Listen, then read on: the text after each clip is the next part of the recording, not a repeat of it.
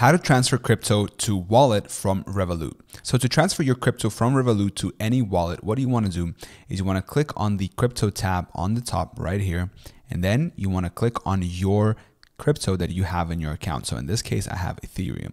Once you click Ethereum, here, what you want to do is you want to click on send. Once you click send here, you're going to have two options. Number one is you can send it to an existing friend just inside of Revolut, or additionally, you can click on wallets and you can click on add a crypto recipient. Here's going to ask you to type in their crypto address. Additionally, you can click on this QR code here and you can scan it. And you will also need to enter the wallet name. And once you fill out this information, you click continue. And this is how you send crypto to any wallet from Revolut. I hope this video was helpful. Thank you so much for watching. Subscribe.